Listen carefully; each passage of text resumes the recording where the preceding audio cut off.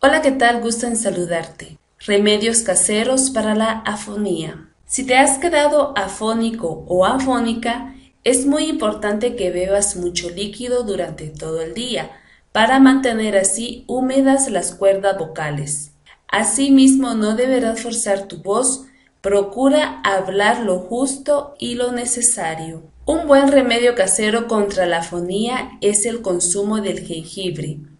El jengibre cuenta con propiedades medicinales y es muy empleado para las afecciones de la garganta. Puedes chupar directamente un trozo de esta raíz o si lo deseas puedes elaborar un té de esta raíz.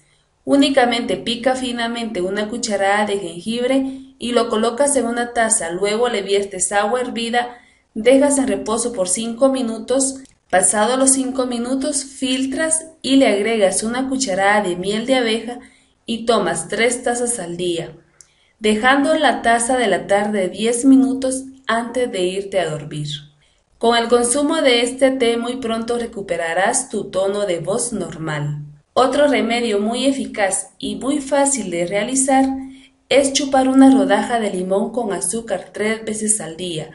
Únicamente pela un limón y lo partes por la mitad Luego en una porcelana colocas una cucharada de azúcar y vas colocando la rodaja de limón sobre el azúcar y vas chupando. Hazlo durante un día. Al día siguiente la fonía habrá desaparecido. Como ves, tratar la fonía es posible sin consumir ningún antibiótico de farmacia. Únicamente necesitas ser constante con cada uno de los remedios que hoy te he compartido en este video.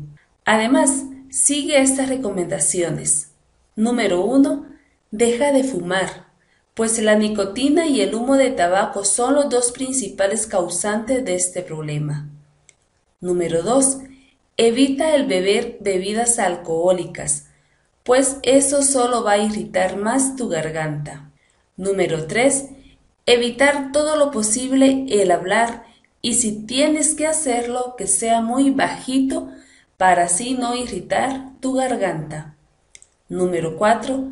Sobre todo, evita el gritar, pues esto empeoraría más tu estado de salud. Si la información que recibiste de este video te ha sido útil, activa un me gusta en este video. Distribúyelo en tus redes sociales para que otras personas se beneficien con esta información. Suscríbete a mi canal. Además, al final del video puedes dejarme tu pregunta o comentario que con todo gusto te lo responderé lo más pronto posible. Te espero en el siguiente video. Hasta luego.